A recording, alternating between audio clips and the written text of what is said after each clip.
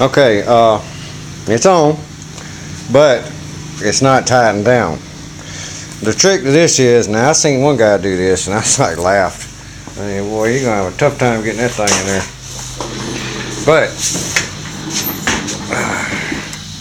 let's find the, all my gear I had right here I was working with.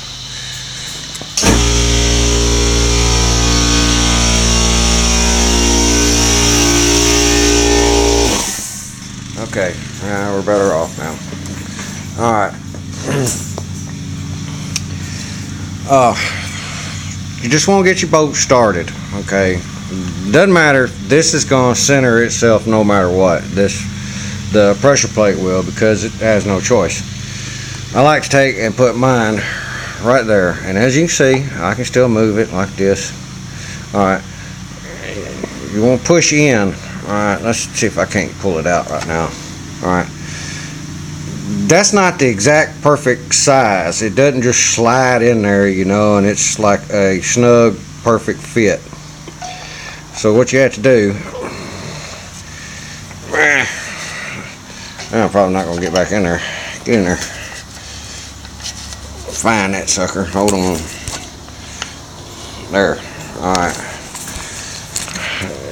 see how much play you have like that but I like to turn mine where it's straight up and down.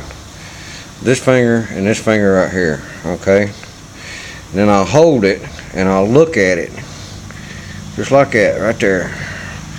So I know I'm dead center and it's got a rounded point. Let's pull it back out.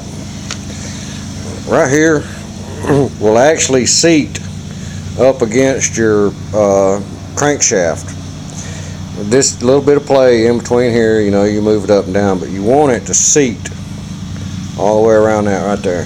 Let's put it back in there. Alright, there we go. Huh, it's just like a glove. Alright, see, so you push it in and you hold it straight in as much as possible. And you don't like bouncing around. I seen one guy doing this while he was uh, tightening it all the way around. Not the man, you'll never get that thing in there, but he did. He he got it in there. He wrestled that sucker. It was a wrestle, I assure you. But when you get it center, just hand tighten it will put pressure on that thing and it will not move. Okay? So you can pull your pin out and then you can turn it this way